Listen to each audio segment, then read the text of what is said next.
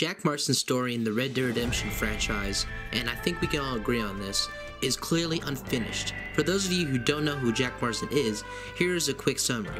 In Red Dead Redemption 2, John Marston joins the Dutch van der Linde gang after falling out of an orphanage. Years after being with the gang, a woman named Abigail Roberts joins the gang and acts as a working girl for a short period of time. Some time passes after John and Abigail have relations, she gives birth to Jack Marston. Not long after Pinkertons realize their crimes and ambush the gang on several occasions, the three fall out of the gang and build a ranch in Beecher's Hope, West Elizabeth. The Pinkertons find the family and threaten to kill Jack and Abigail unless John hunts down the remaining figures of his former gang. Once John does so, he returns to his family only to be betrayed by the government. Jack and Abigail are forced to leave the ranch as John sacrifices himself to protect them as they escape. As John Marston pulls his gun one last time, he is absolutely murdered and shot down like a dog by the American Army.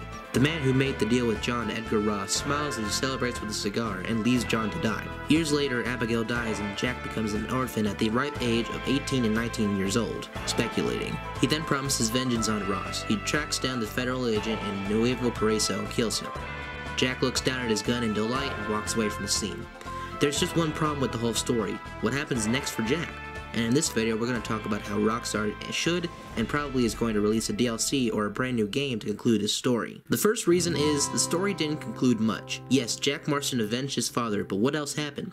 Did he return to his ranch? Did he become an outlaw? What happened, Rockstar? What happened? Some people probably speculated that he went back to his ranch to live a stable life, but here's one problem with that, how did he keep it? He had no job, and more importantly, Edgar's body was never officially hidden.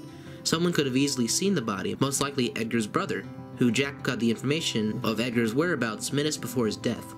Then the brother would have definitely suspect Jack to be the killer and file a report to the authorities.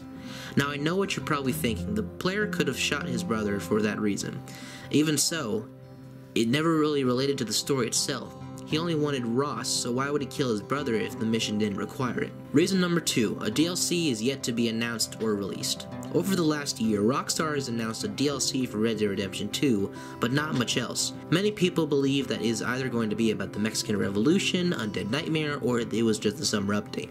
The problem with that is that it wouldn't make much sense and it would still leave Jack's story in the dirt. According to the Reddit user Throwaway11113454, an environmental artist in Rockstar confirmed that a DLC is in the works. Sadly though, when I researched this, it speculated that it would be directed to an Aliens DLC, not a Jack DLC. Reason number 3, voice line glitches.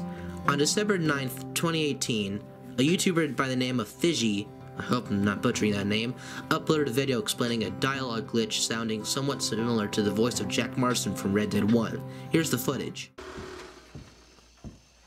You have a fine morning, ma'am. Mm, 13. Give me a card. Damn!